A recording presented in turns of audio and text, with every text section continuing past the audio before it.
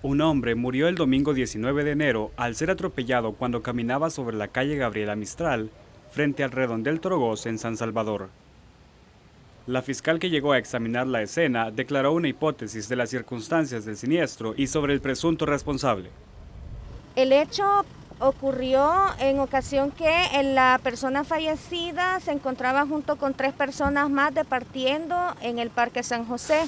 Hubo un altercado entre ellos y cuando la víctima junto a dos personas más se conducían caminando por este redondel Torogos, fueron abordados por eh, la persona que conducía el vehículo color rojo, provocándole, causándole o, eh, atropellándolo hasta causarle la muerte.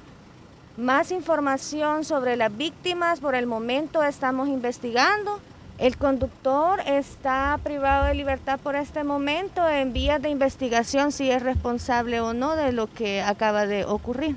El conductor que habría atropellado a las personas alegó que trató de frenar para evitar embestirlas.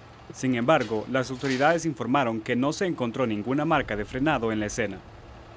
A este percance vial se suman otros dos accidentes ocurridos el mismo día en diferentes partes del país con un saldo de 14 personas lesionadas y 3 fallecidas hasta el cierre de esta nota.